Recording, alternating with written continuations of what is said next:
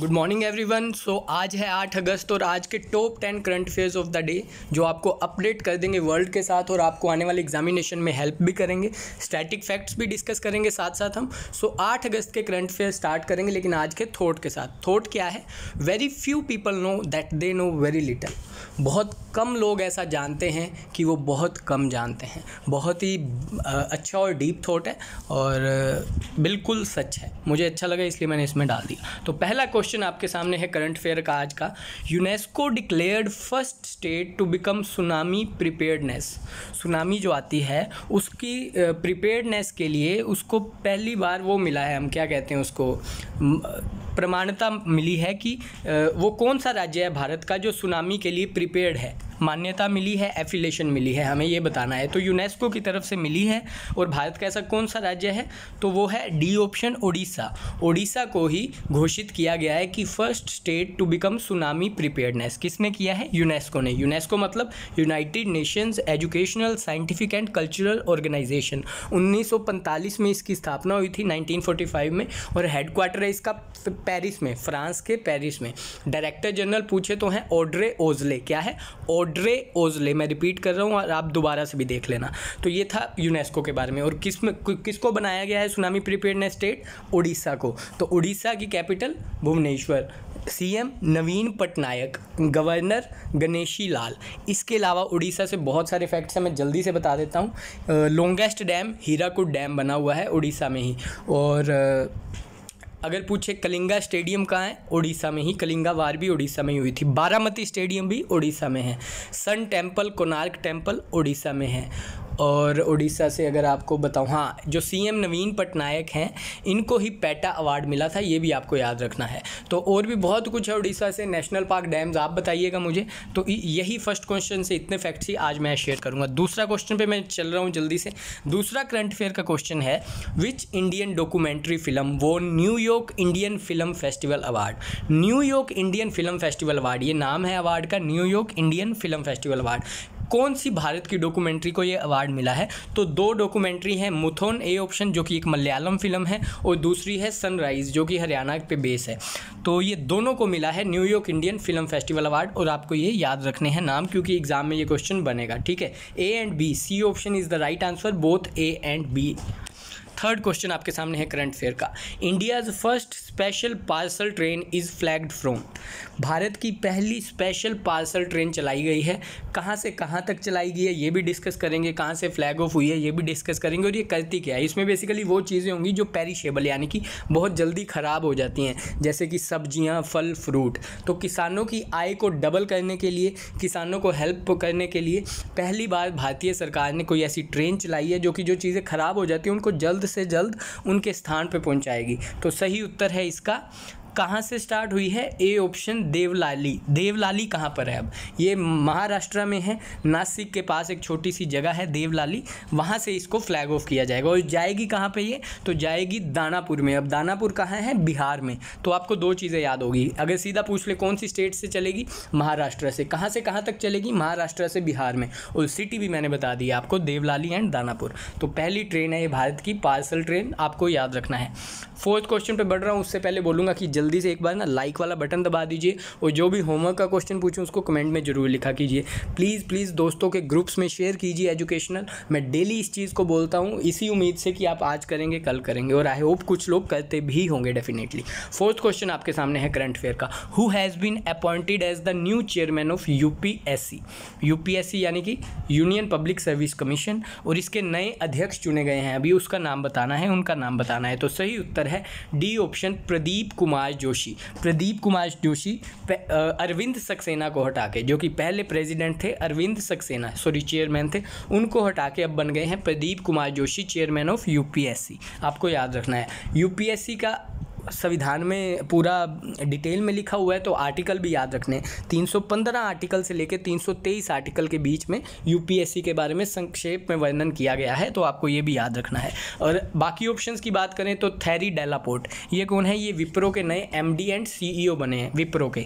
B option Marco स्ट्री जो बड़ा important है एनडीबी के न्यू डेवलपमेंट बैंक के अध्यक्ष बने हैं वाइस प्रेजिडेंट बने हैं। अशोक लवासा, ये एडीबी एशियन डेवलपमेंट बैंक के वाइस प्रेजिडेंट बने हैं। पहले ये कौन थे? पहले ये एक इलेक्शन कमिश्नर थे, ठीक है, चुनाव आयुक्त थे। तो चार ऑप्शन बड़े इंपॉर्टेंट हैं, मैंने चारों बता दिए हैं तो दिमाग में रखना और रिवाइज करते रहिएगा। पांचवा करंट अफेयर का क्वेश्चन आपके सामने आ गया है। When was national handloom day observed अगर सोशल मीडिया यूज़ करते हैं, जो कि ऑब्वियसली करते होंगे तो कल सारा दिन यही चला है सोशल मीडिया पे। सुशांत सिंह राजपूत वाला केस तो चल ही रहा है प्लस ये भी चला था नेशनल हैंडलूम डे जो भी बुनकर हैं भारत के, और हस्तशिल्प हैं, जो हाथों से कारीगरी करते हैं, और कढ़ाई बुनाई का काम करते हैं, उनकी आय को बढ़ाने के लिए और सोशियो इकोनॉमिक डेवलपमेंट के लिए, भारत की कल्चर को बढ़ावा देने के लिए इस दिन को ऑब्ज़र्व किया जाता है हर साल। किस दिन किया जाता है? सिर्फ़ डेट याद रखनी है। सात अगस्त को। सात अगस्त को नेशनल हैंडलूम डे ऑब्ज़र्व करते हैं। कल हमने पढ़ा था लिटिल मैन हिरोशिमा डे ठीक है, जो अमेरिका ने जापान पर फेंका था। और एक से सात अगस्त तक क्या था? वुमेन ब्रेस्ट फीडिंग डे था। सब स्तनपान दिवस सप्ताह मनाया गया था। तो ये था पाँचवा क्वेश्चन बट तो मैं अपने छठे करंट अफेयर पर आई होप आपको सब चीज़ें जल्दी से ग्रेस्प हो रही होंगी। क्योंकि मैं टू द पॉइंट पढ़ाता हूँ, कुछ ज़्यादा एक्स्ट्रा नहीं पढ़ाता हूँ। हाँ इंपॉर्टेंट फैक्ट्स ज़रूर बताता हूँ। छठा क्वेश्चन आपके सामने है who won the first prize in smart India hackathon अब ये स्मार्ट इंडिया हैकेथोन क्या है? ये बेसिकली हरिया हरियाणा नहीं, उत्तर प्रदेश के नोएडा में हुआ था एक यूनिवर्सिटी में कॉम्पिटिशन जिसमें अलग अलग ऑर्गेनाइजेशन ने भारत की पार्टिसिपेट किया था। और किस, कौन जीता है स्मार्ट इंडिया हैकेथोन तो C option D I A T इसको जीता है। किसको? D I A T defence institute of advance technology ने इस अवार्ड को जीता है स्मार्ट इंडिया हैकेथॉन। डी के बारे में थोड़े दिन पहले ही हमने पढ़ा था कि कोरोना की रोकथाम के लिए इन्होंने आइसोलेशन बेड बनाए हैं, जिसका नाम रखा गया है आश्रय। क्या रखा गया है? आश्रय। तो डी के बारे में इतना याद रखना है। डी आई टी सॉरी है कहाँ पे? हेडक्वार्टर है इसका पुणे में, ये भी याद रखना है। क्या अवार्ड जीता है? Smart India hackathon. तो ये था छठा करंट अफेयर। सातवां करंट अफेयर आपके सामने आ चुका है।